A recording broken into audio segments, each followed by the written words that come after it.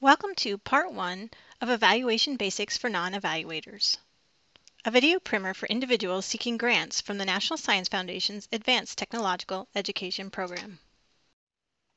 This video was created by EvaluATE at the Evaluation Center at Western Michigan University for Mentor Connect. EvaluATE is the evaluation resource center for the National Science Foundation's Advanced Technological Education, or ATE, program.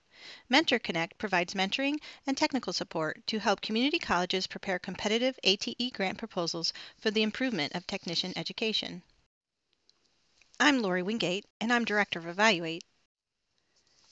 Before we get started, I should point out that although EvaluATE is funded by NSF to provide guidance on evaluation matters, we do not speak for NSF. NSF's ATE program is focused on improving technician education mainly through two-year colleges. The program funds centers, targeted research, conferences and workshops, and several different types of projects. Be sure to read the ATE program solicitations for details about these program tracks and their requirements. MentorConnect's main focus is getting institutions who have not been funded by ATE into the program. So the examples I'll share in this video are about that type of project. That is, projects that are funded for up to $300,000 for three years that take place at colleges that are new to the program. But a lot of what I'll cover in this video will apply to evaluation in all kinds of contexts. To start off, I'd like to introduce Jen Jenerickson. She is going to help us work through the basics of evaluation so you can finish this video series ready to build evaluation into your ATE proposals. Jen has a great idea for an ATE project. The technical programs at her college are struggling with retention, especially among first generation and historically underrepresented students. So she and her team have developed a plan for a project to address this problem.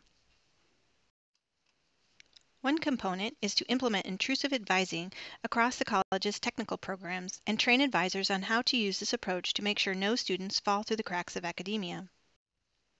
The college is seeing a lot of dropouts among first generation students, so they will use grant funds to develop resource materials and strategies to support these students and help them succeed regardless of the types of barriers they face in completing their education. Finally, they're also going to create a new tech prep course, which will help students in technical programs develop in the areas of critical thinking, teamwork, and resilience.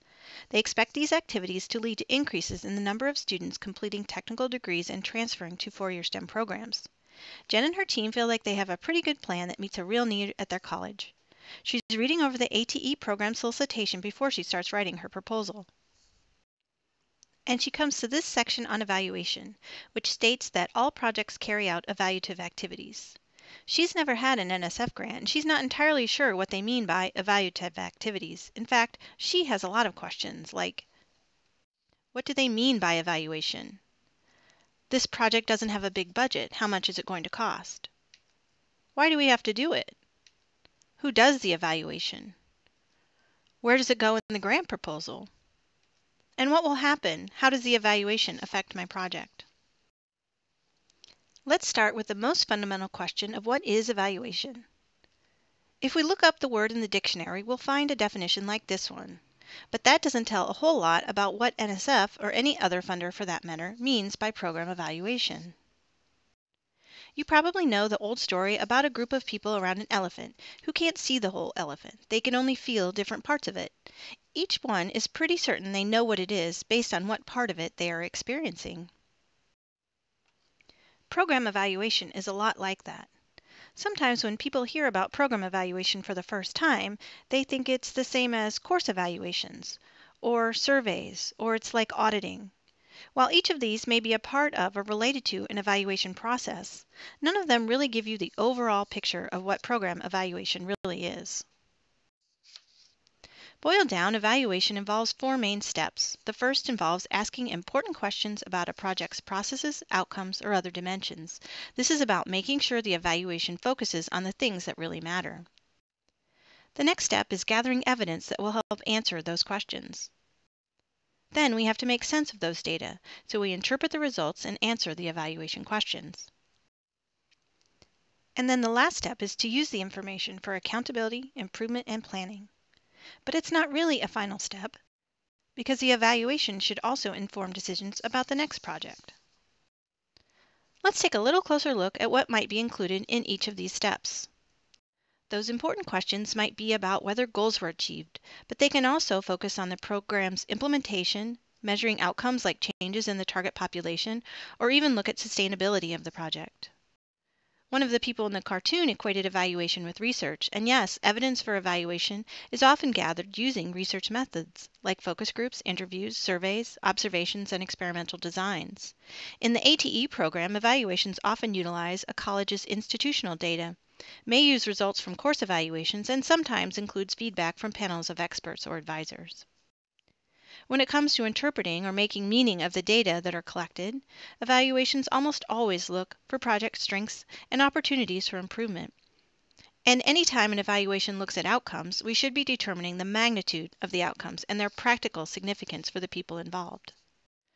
Evaluation results can be used to make improvements to a project as it's being implemented and to plan new projects. You'll need to include your evaluation results in reports to funders. Evaluation results will help you seek new funding because they serve as evidence of your capabilities. Lessons learned from evaluation can also contribute to a discipline's larger knowledge base about the effectiveness of different types of interventions. That's still pretty general, so let's go back to Jen's project. To begin planning her project, she'll need to map out how the activities she and her team are planning are going to bring about the changes she wants to see for students at her college. A good way to do this is to develop a logic model. The ATE program doesn't require logic models, but people find them useful for thinking through about what a project is going to do and also for communicating that plan to others. Since this video isn't really about building logic models, I'm going to go ahead and create Jen's logic model for her. And as I'm doing that, I'd like you to start thinking about what questions you think the evaluation should address. In the first column for activities, we'll put in those activities that we know are part of the project that Jen is planning.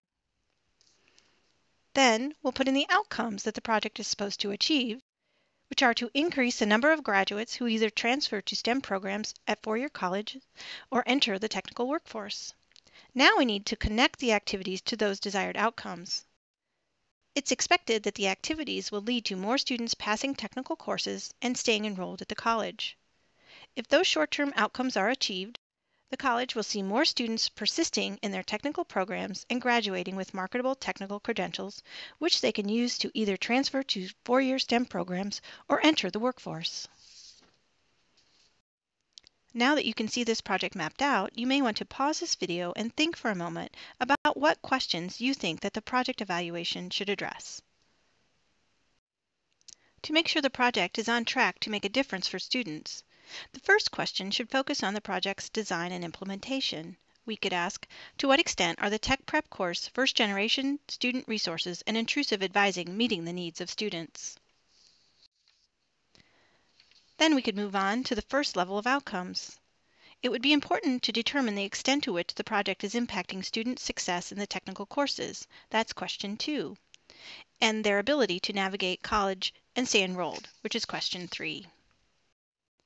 Next, we could look at how the project is impacting student persistence in technical programs, question 4, and program completion rates, question 5. Given the short duration of this project, just three years, it would be premature to consider the long-term outcomes. So if we went with this set of evaluation questions, we'd have five overarching questions addressing both project implementation and outcomes, we would aim for using a mix of quantitative and qualitative data from multiple sources to address all the questions, but we're not going to get into the details of data collection in this video. If you are interested in learning more about logic models, we have a couple of resources in our handout that supports this video that you may want to check out. The first is a logic model template, and the second is a recorded webinar that demonstrates how to develop a logic model and use it in a grant proposal. To learn more about the qualities of good evaluation questions, see the Evaluation Questions Checklist for Program Evaluation. Links for all the resource materials mentioned in this video series are listed in this handout. Next, we'll discuss how much does evaluation cost.